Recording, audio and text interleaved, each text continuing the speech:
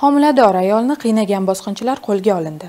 Toshkent shahar ichki ishlar bosh boshqarmasi xabariga ko'ra, mazkur holat yuzasidan jinoyat ishi qo'zg'atilgan. Mirzo Ulug'bek tumanidagi xonadonlardan birida 30 noyabr kuni sodir etilgan mudhish jinoyatda ikki nafar noma'lum shaxs ushbu xonadonga bostirib kirib, xonadon bekasi va uning 6 yoshli farzandini o'ta vahshiylarcha qiynab, xonadondan qimmatli buyumlarni olib chiqib ketishgan. Shu kuni 102 qisqa raqamiga ayol kishi tomonidan qilingan qo'ng'iroq yuzasidan tezkor xodimlar zudlik bilan voqea joyiga yetib kelishganida ayol va uning o'g'li kuchli stress holatida edi. Uning aytishicha, soat taxminan 10:00 larda turmush o'rtog'ini ishga kuzatgach, homiladorligi sabab uyqu elitgani va shu paytda eshik qattiq taqillaganini eshitib, kimligini bilmasdan eshikni ochadi va begona shaxslarni ko'rgach, eshikni qayta yopishga ulgurmay qoladi. Я толкнула его. Он говорит, тихо, я тебе сказал. В этот момент последовал удар с его стороны в, левую сторону. Он другой рукой он меня схватил за волосы, усадил в прихожей на э, этажерку для обуви и начал бить меня. Бил несколько раз, бил, бил, потом нагнул меня и провел вот сюда в комнату. Bosqinchilar puxta tayyorgarlik bilan o'zlaridan iz qoldirmaslikka harakat qilishgan. Zudlik bilan olib borilgan tezkor qidiruv va surishtiruv ishlari natijasida esa ularning kimlar ekanligi aniqlandi. Ushbu shaxslar taksini ushlab, ikkita uchta mashinalarga minib, o'zini izini yo'qotish maqsadida vaqtni o'tkazgan. Ushbu shaxslar aka-uka bo'lganligi aniqladik. Aka-ukalar qo'lga olingach, jinoyat sodir etilgan uyda voqealar qay tarzda kechganini ular o'z ko'rsatmalarida aytib o'tishdi. u ozgina сопротивляться qildi yana bitta urdim uni yuziga mush bilan уже bu yoqqa mush bilan yo'q mush mush ketib qoldi spalniyda pul bor edi spalniyaga olib bordik man o'zim oldim Опять подвел, подвел меня сюда, приложил нож. И вот так вот у меня полоснул ножом. У меня здесь шрам. Говорит, ты чувствуешь, какой он острый? Сейчас этот, этим ножом я тебе порежу горло. Я тебя зарежу. Он приложил вот так вот.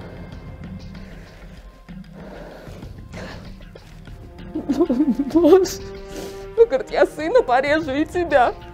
bitta shkatulkani chiqardi mana dedi mana shu yoqqa to'kdi mana shu yonida Ha, ichida ichida bitta kalema bir bir ikkita uzuklar и to'rt yuz dollar pul mana shu yerdan man o'zim oldim yana bormi deb so'raganda narigi xonani ko'rsatdi.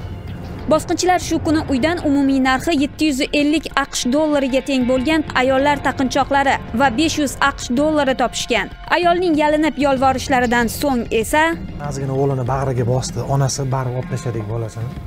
Mana shunaqa ham bo'ldi ozgina keyin uni man bu yoqqa yotqizdim shu qanaqadir sumkani arqoni bor ekan qo'lini boyladim kompyuter shnuri bilan oyog'ini boylab mana shu yerda yotgan noskini og'ziga man tiqib qo'ydim keyin.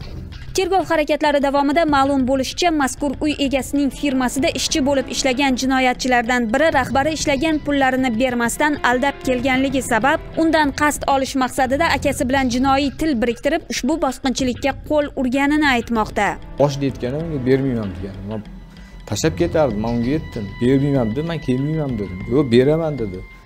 Payshanba kuni kel mana chorshanba kuni kel man kartochkaga tashlab yuboraman. Mana mana mana mana deb oxiri kelganimdan keyin man yuzimga ham qaramadi kompyuterda o'ynab o'tirib yuzimga ham qaramasdan javob beryapti shunda man jahlim chiqib ketdi. Aka-ukalar bundan avval ham og'ir turdagi jinoyatni sodir etib qamalib chiqqan. Endigina o'z oilasi bag'rida farzandlariga ota bo'lib yashayotgan bir vaqtda o'ziga to'g'ri xulosa chiqarmasdan takror ravishda jinoyatga qo'l urdi. Holat yuzasidan Rustam va Sherzod ismli shaxslarga nisbatan O'zbekiston Respublikasi Jinoyat kodeksining 164-moddasi 3-qismi V bandi bilan ayb e'lon qilib, ularga nisbatan qamoqqa olish tarzidagi ehtiyot chorasi qo'llanilgan. Hozirda ushbu aka-ukalarning boshqa jinoyatlarga ham aloqadorligi tekshirilmoqda. Shu o'rinda Toshkent shahar ichki ishlar bosh boshqarmasi fuqarolardan notanish kimsalarga uy eshiklarini ochmasliklarini so'raydi. Agarda uyingizga kelganlar o'zini kommunal xizmatlar xodimi deb tanishtiradigan bo'lsa, albatta ularning hududiy korxonalaridan ushbu shaxslar haqida ma'lumotlar olishingizni tavsiya etamiz. Shuningdek, bu kabi holatlarda mahalla va hududiy profilaktika inspektorlaringizni ham xabardor etishingiz foydadan xoli bo'lmaydi.